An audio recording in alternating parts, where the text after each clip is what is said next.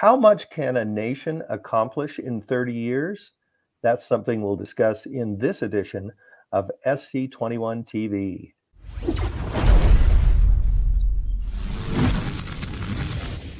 Hello, hello, Kamie. Will you please introduce yourself and tell us about your organization? Sure, Rich. My name is Kamie Roberts, and I'm the director of the National Coordination Office for the Networking and Information Technology Research and Development Program in the U.S. federal government. We are an organization that helps coordinate federal IT R&D across the entire U.S. government. Lots wow. of lots of efforts going on there. that that's a that's a big chunk, and you are chairing a uh, thing called a Birds of a Feather or a BOF gathering at the SC, SC21 conference. And you're looking at a very significant 30 year anniversary. What is that anniversary and why is it significant? So, December 9th, 2021 marks the 30th anniversary of the signing of the High Performance Computing, or HPC Act of 1991, which provided for increased federal investment in HPC and coordinated federal program to ensure continued U.S. leadership in high performance computing. The act came about um, through the actions of then Senator Al Gore and others because at the time global competition in IT and HPC was very high and that's something we're facing again today. At the same time the White House Office of Science and Technology Policy um, published their report Grand Challenges High Performance Computing and Communication which outlined a development strategy for HPC and provided a framework for coordinated high performance computing program in the government. The increased federal commitment to information technology R&D continues to be reflected. As in 1991, when the act was signed, the U.S. government was spending about $5 million in IT R&D, and we reported 6.5 billion in 2021. Wow. So why why is looking back important to understanding where we are now and where we're headed in the future? So looking back is an important context for understanding the future. You see it in the writings of Vannevar Bush, particularly in his Science, the Endless Frontier, his 1945 report to the President of the United States, where he called for an expansion of government support for science. Understanding where we started and how we got to today provides lessons that can maximize the benefits of science and technology and speed the resolution of society issues. So, what policies worked and which didn't? What technologies changed the world and which didn't? Which programs excelled? And what was the secret sauce that led to that success? Every data point from the past provides insights that drive faster innovation. This is really why it's important to commemorate the HPC Act anniversary at SC21. Some of those attending have been working at HPC even before the Act was signed. Some started that same year, and some are just starting now. But many have been able to take advantage of the increase in federal investments to create HPC innovations we take for granted today and consider weather modeling, windshield design, movie special effects, and finding new treatments for rare or common diseases, including AIDS, cancer, and of course, COVID 19. HPC is critical to scientific excellence and innovation. The diverse participants at SC21 each bring a different viewpoint, which they can learn from the struggles of current and former researchers to find new paths new systems, new data insights, new applications, and keep HPC innovation thriving.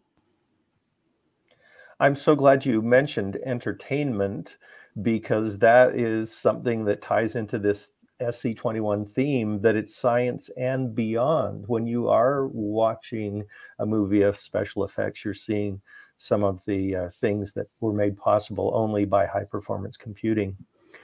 Uh, I, when you mentioned secret sauce, I thought NITRD. It's got to be part of that secret sauce. Tell us what NITRD is and why national coordination is a priority and possibly why it is part of the secret sauce.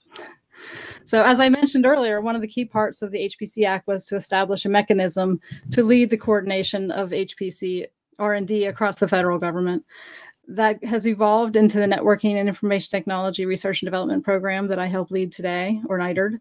We're a multi-agency program, provides opportunity for federal agencies to work together to coordinate and collaborate to tackle their multidisciplinary and multi-sector R&D problems. We're the primary source of federally funded R&D and advanced information technologies, and we ensure that there's not duplication of effort within the government, which is, of course, part of that secret sauce that you mentioned. we bring the best and the brightest together. NITRD is managed by a subcommittee, which um, was started in 1991 with the Act, with 11 members, and we now have 25 member agencies and over 60 other participating agencies. Just huge. That's amazing. So tell us what are some of the most uh, satisfying aspects of your work, Kamie? Oh, I'm not sure where to start that. um, so I think the opportunity to see the inner workings of federal R&D enterprise just fascinates me. To see science and technology policy being informed by the results of R&D and to see the federal R&D agencies thriving because of their scientific integrity, commitment to excellence, and their perseverance. I'm also inspired by the dedication and enthusiasm by, of the federal scientists, engineers, and program managers. Each and every one of them works diligently to make the best use of the federal investments, to strive for innovations that will make our country and our world a better place. And finally, I my example I often use is when I sit in a meeting and two agencies make a connection that wasn't there before. So very satisfying. It means we are discussing our mission, we're meeting our mission even better when that connection leads to a joint program, such as the National AI Institutes with the National Science Foundation and the U.S. Department of Agriculture, or the Resilient and Intelligent Next Generation Systems Program, which is bringing together the National Science Foundation, the National Institute of Standards and Technology, and the Department of Defense, partnering with the private sector to accelerate research and next generation networking and computing systems. These are the things that, you know, I, I love to get up every morning and, and start my job with these things ahead of me. And this kind of connecting is also something that happens at SC21. People who may have uh, not known each other, or maybe they only uh, corresponded with each other via email. They're getting to see each other face to face and make those connections, and and some real magic happens when that happens. Agreed. This year, SC21 is emphasizing uh, as it has for many recent years, diversity and inclusivity. And I'd like to hear from you how you think that R&D benefits when we have the inclusion of women and people of color, color and other uh, individuals involved. Sure. So the importance of diversity and inclusivity cannot be underestimated. For too long, we have underutilized the talents of all Americans. Um, Dr. Talitha Washington of the Clark Atlanta University will be joining our BOF panel as we address just this question. We all saw the film Hidden Figures and the critical support women provided for the space program, and we finally recognize their contributions. And this is the time to start encouraging others to participate in any STEM field. Some of the benefits are we bring in novel perspectives on hard problems that will bring higher levels of innovation and productivity we can increase the overall talent pool because the demand for S&T workers right now is outpacing degree production. There's amplification of inclusion into more communities and into future generations, driving creativity in today's and tomorrow's workforce.